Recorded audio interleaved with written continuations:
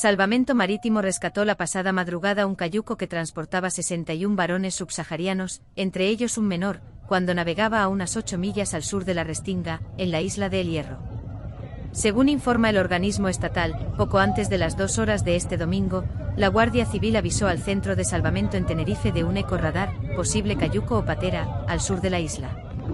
Por ello, se movilizó a la salvamara Dara que sobre las tres horas, localizó el cayuco y lo escoltó hasta el muelle de la Restinga, donde llegaron media hora después.